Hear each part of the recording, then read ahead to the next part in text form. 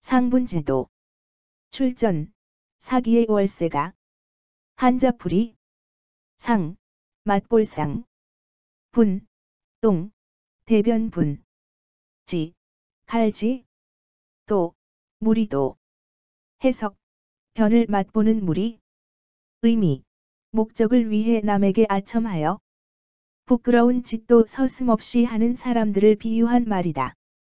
고사 사기 월세가의 기록이다.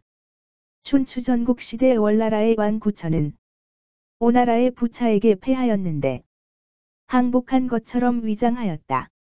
이후 오나라에 끌려가 온갖 수모를 겪었을 때 그의 옆에는 충신 범녀가 있어 늘 지극정성으로 받들어 모셨다. 어느 날 부차가 구천을 죽이기 위해 그를 불렀다. 이때 부차는 병으로 자리에 누워 있었다. 이런 위기를 모면하기 위해서 범녀는 지혜를 발휘하였다.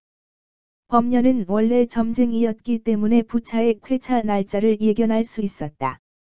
범녀는 구천에게 부차의 쾌차 예정일을 알려주었고 또한 구천에게 부차 문병 시의 부차의 변을 맛보고 나서 부차의 쾌차 예정일을 말해주라고 권하였다.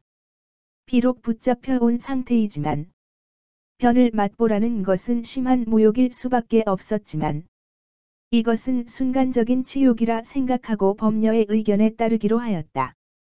범녀의 주문대로 실행하자 범녀가 말한 예정일에 부차는 씻은 듯이 나았다.